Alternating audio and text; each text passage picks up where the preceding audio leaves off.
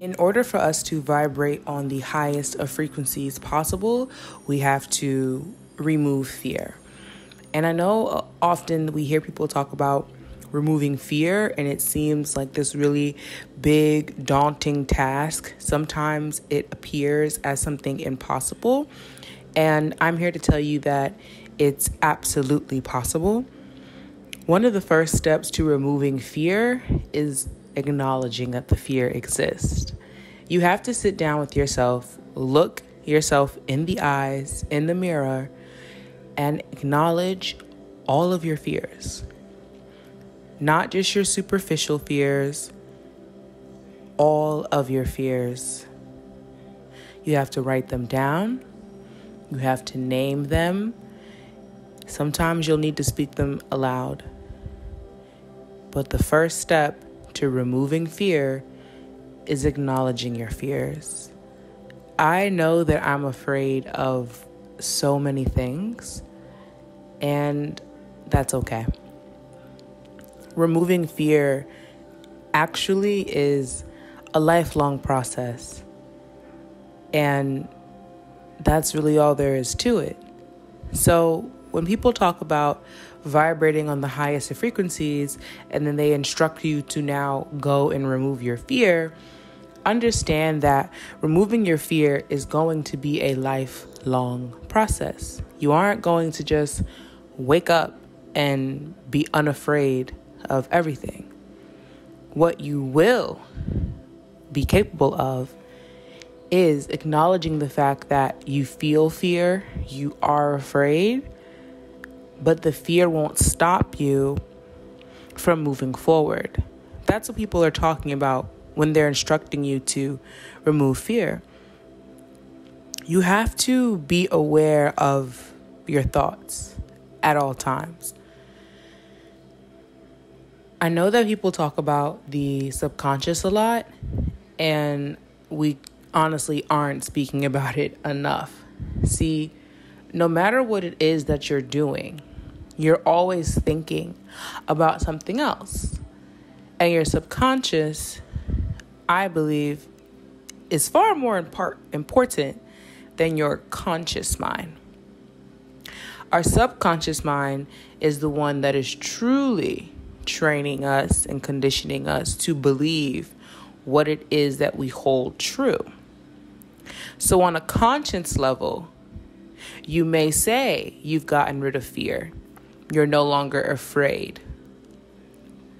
But on the subconscious level, you you won't do certain things, right? People talk about having irrational fears. They're not really irrational. Most of the time, irrational fears stem from a subconscious memory that has been locked away because it was so traumatic. And so now you don't know why you don't want to wear the color orange, right?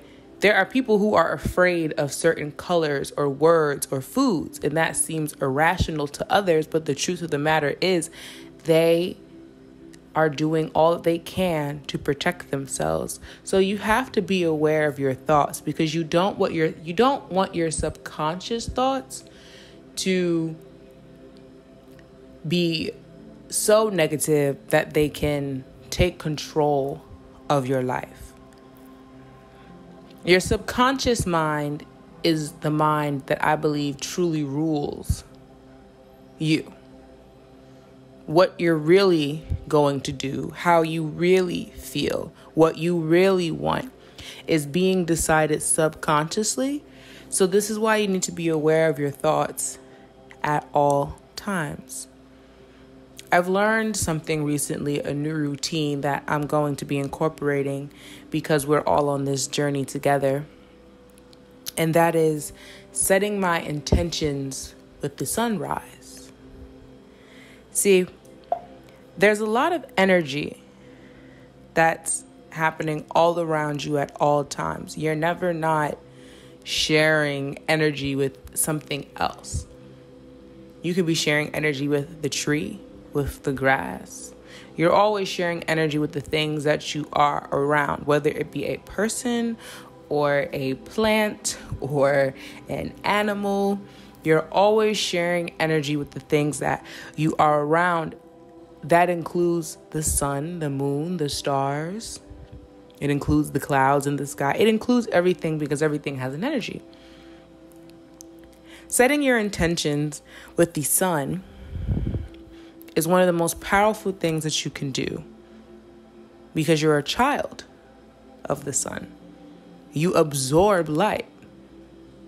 So, if you want to set intentions for your day, for your week, for the year, just in general, one of the best things to do is to set those intentions when the sun is rising.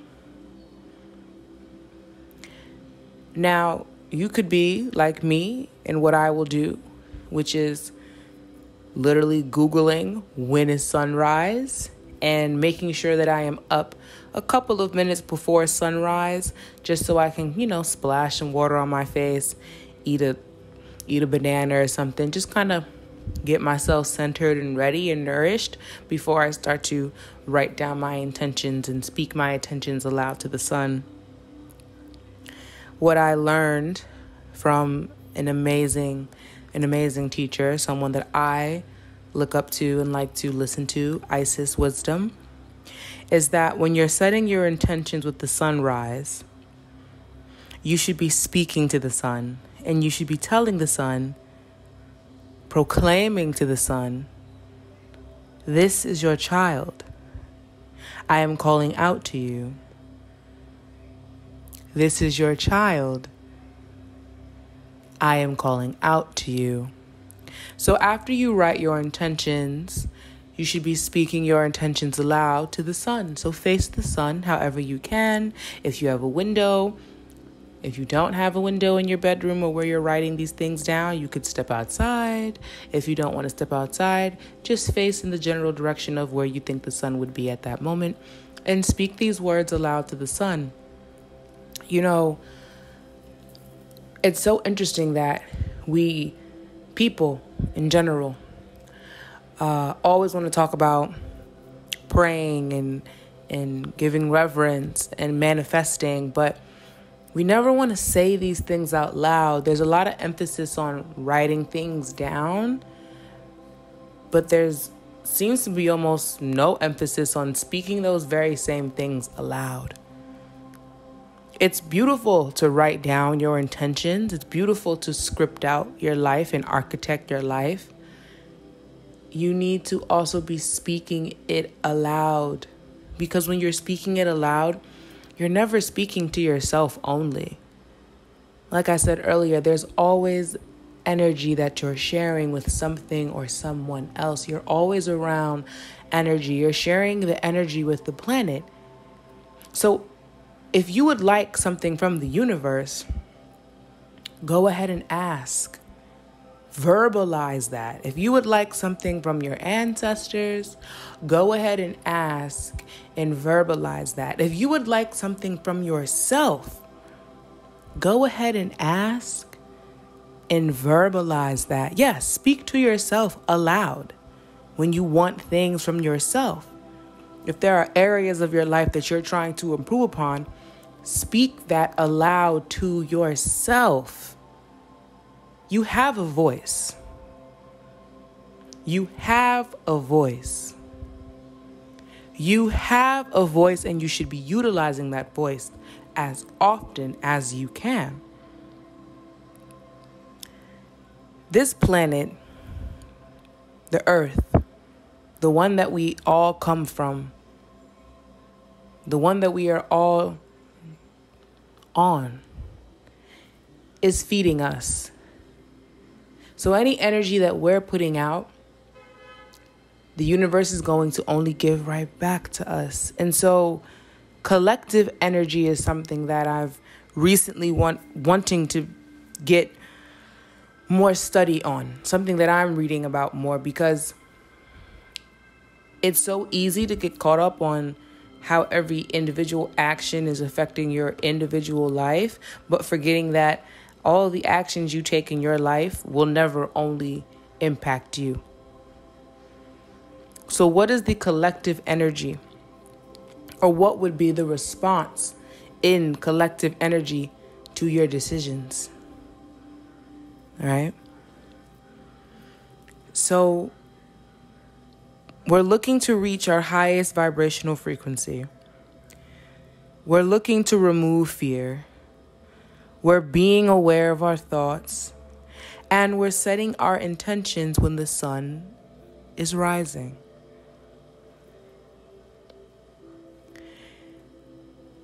We have to be more comfortable with calling out for help.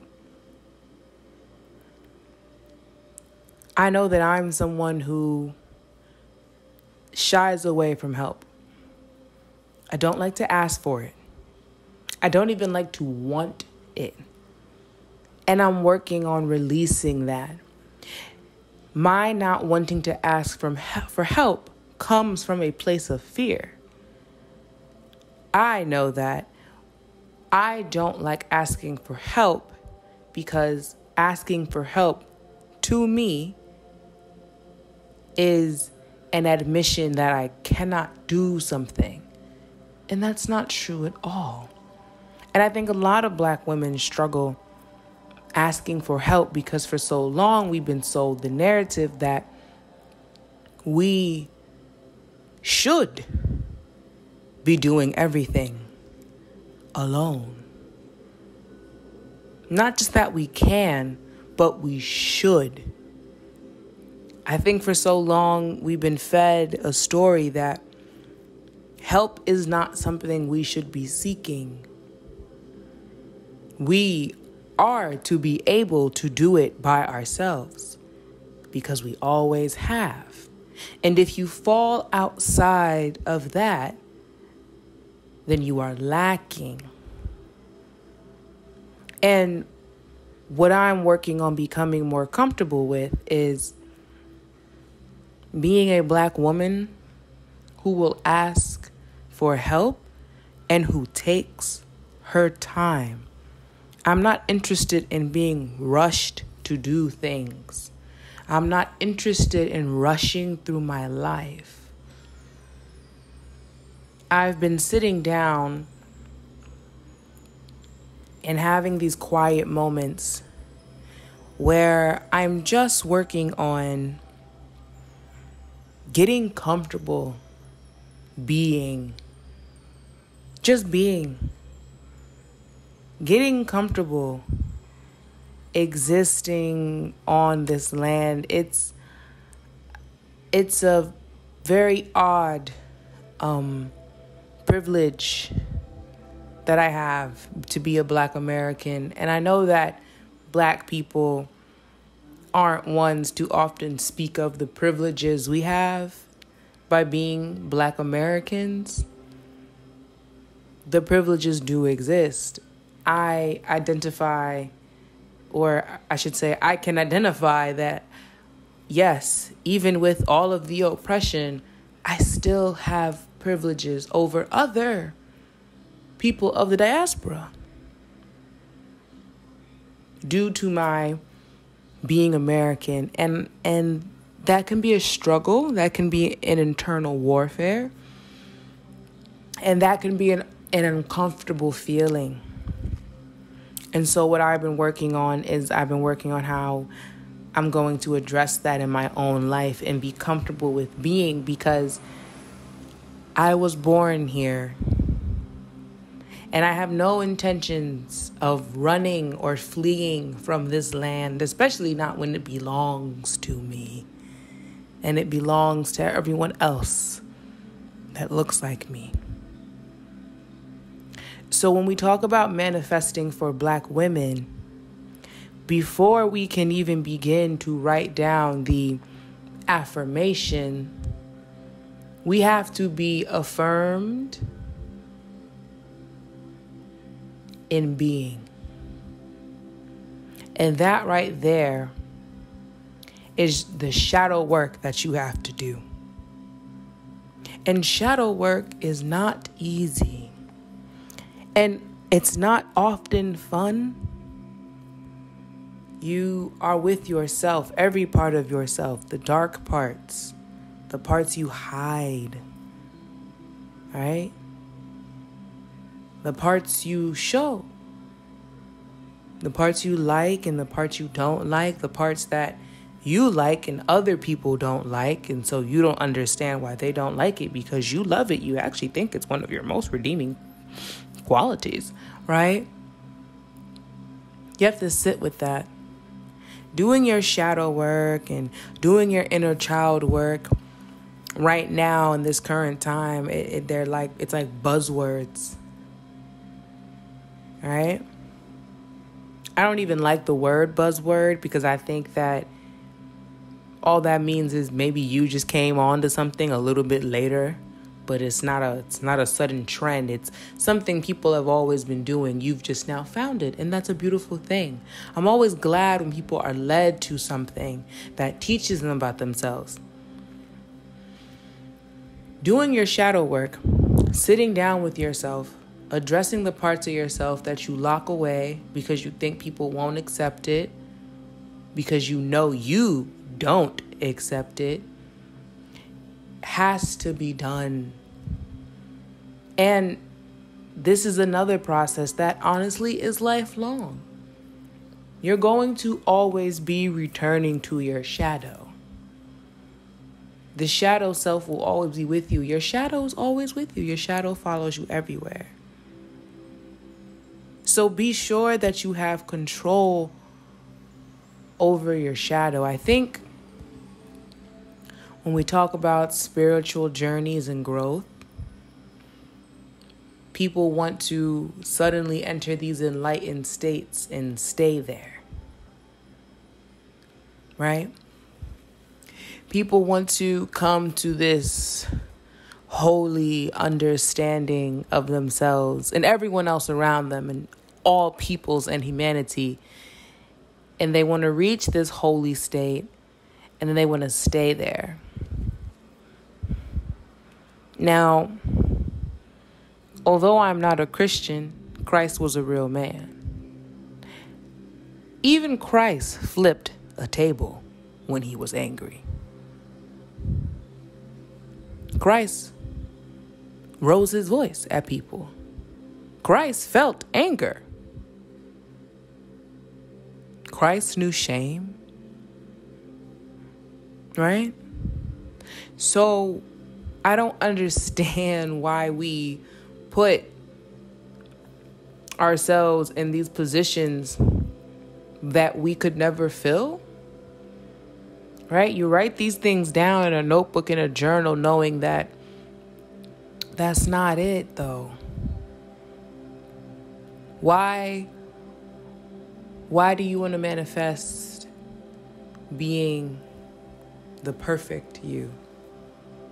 Why not manifest being the healthiest and happiest you? Happy is not something that is a constant, as life would have it. Happy is a fleeting moment, it's a feeling, it's a state of being that you're in from time to time. I think people are more content throughout life than they are happy. And there's nothing wrong with that. Right? There's nothing wrong with being content with where you are and where you're going. What I am coming to understand for myself as I delve deeper into manifesting, manifesting as a black woman, what all that means is that I am greater than the spirit of fear. It's something that Isis speaks about very often. You are greater than the spirit of fear. Once again, everything has an energy. So fear is just not a feeling. There, there's a spirit of fear that a person can be carrying, a spirit of anxiety, right?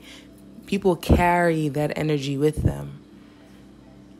So I don't want to be carrying a spirit of fear. Feeling fear is not a bad thing. Feeling fear means you are alert and aware of circumstances and situations. But to have a spirit of fear means that you are ex- almost you are expecting for things not to go right. So when you are expecting for things not to go right and they don't go right, what happens? You become more fearful.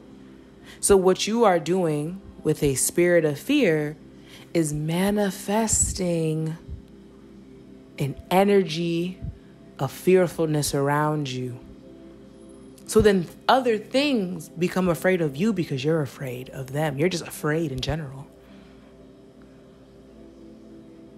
So a spirit of fear is what you are greater than. Fear should not rule you. And I'm a black woman, I'm a dark skinned black woman. I know fear. I understand fear. I've walked side by side with fear. And I've also been dragged by fear. Fear isn't stronger than me, though. Fear doesn't know me better than I know myself. Now, fear may walk alongside me when it is beneficial to me. But when it is not of my benefit to be fearful, and really, when I say be fearful, I really just mean to be aware. Right? When it is of no benefit to me to be like anxious in that way, then fear got to walk behind me. And I'm talking like 8 trillion paces behind me right? You only need to catch up when I'm in a situation where you need to be making my senses go off in that way. Otherwise, get thee behind me. That is how I am approaching fear now. You you can't allow things outside of yourself to define you and I have been working on this for a long time, not allowing people outside of me to define me. When you're beginning to manifest consciously, because here's the thing you're always manifesting, whether or not you quote unquote believe in manifestation. You can believe in it or not believe in it, you're always doing it. You're always attracting things towards you. Allowing people outside of yourself, allowing energies outside of your own to influence your thought and feelings of self is very dangerous. I struggle with this the most when it comes to family because family is sold to us as everything and more. Family is sold to us as something that we cannot leave behind. Something that should be held in the most highest of regard and esteem, no matter how you are treated by it. And for a lot of people, I think more people than we would care to admit as a collective, Family is one of the most painful things in their lives. Family is who supposedly knows you best. So when family judges you harshly, that's a huge damper on your energy. It's actually very draining. And I have, for a very long time, allowed the energy of family make me question who I am, what I am capable of, and who I have been.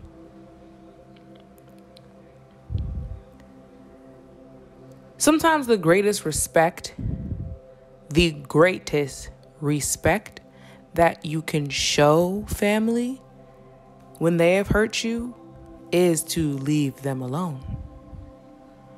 Because it's it's a respect and honor unto yourself. We don't have to engage with things we don't like. that includes people. And that includes people who happen to be related to you. You don't have to engage in things you don't like. Manifesting what you want in your life, I feel, becomes easier. Consciously manifesting becomes easier when you're no longer engaging with things you don't like. I've deleted Instagram off my phone. I'm gonna stay off Instagram intermittently for the rest of the year. So, right now, I'm gonna stay off Instagram for about two weeks. Then I'll probably go back on, just check on some things. And then I'll get off again for a month. And I'll probably go back and forth like that until the end of the year. I've done this before. I've actually stayed off Instagram completely for months at a time. This is something I do very regularly now. I mean, this is something that I now feel is part of my routine, like a part of my self-care routine. My my constant self-care routine is taking breaks from indulging in others' energy because sometimes it feels very voyeuristic in a way that I don't I didn't sign up for. um, and so I don't always want to be beholden to this social contract of voyeurism. So I try to take regular breaks from social media. When you are manifesting consciously, like when you are sitting down and saying, These are the things that are happening right? Because when we manifest, we don't say, This is what I want. We say, This is what I have. This is what I have, and I'm so thankful for its arrival. This is what I have. You have everything that you are manifesting because it is there with you now. And it has always been on its way to you. Speaking in present tense, makes things real, it makes things true. When you manifest, you manifest in real time. Now, it's not to say you can't say, I will get this, I want that, this is on the way to me. You can absolutely use that language when you're manifesting. I personally feel that it is extremely powerful when you speak in the present tense, regardless of if you actually have the thing you're speaking about. It's there. And the reason that it's there is because you thought about it. I always, I will always believe that if you can think about it, it's already there. If you can think about having that house, that house is, has been built for you. That house already exists for you. That house is there. That house is there. That house exists. You have it. You have that house. When you'll be in the house, how the house will come, how the house be paid for, furnished, it doesn't matter. You have the house. You thought about the house. You visualized the house. You have the house. So enjoy having the house. And then I promise you, one day you'll be waking up in the house. And you'll realize you've been in that house longer than you had been anywhere else in the world. Because you've always had that house. That's manifestation to me, for me. That's manifestation. This has been the first episode in a series that I'm doing manifesting for black women. Manifestation is real. We are manifesting all the time.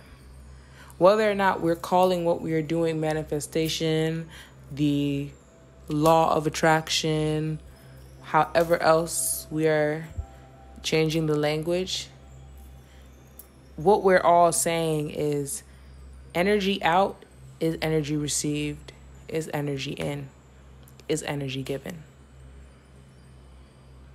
I hope that you've enjoyed today's episode. I hope that today's episode made you think. This episode is about why we manifest. And I hope that you're able to connect the dots as I was speaking. Please do pay a visit to Isis Wisdom here on YouTube and tap into your higher self. Reaching your highest state of being, a higher vibrational frequency, is possible.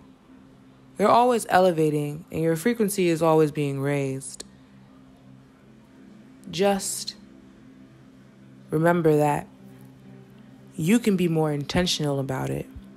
And when you become more intentional about it, everybody else and everything else around you becomes more intentional.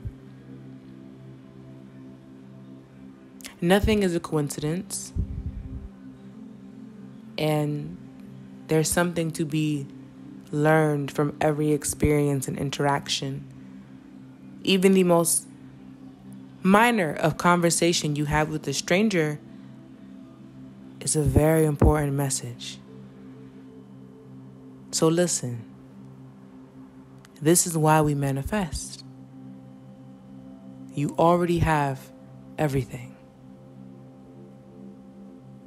Ashe.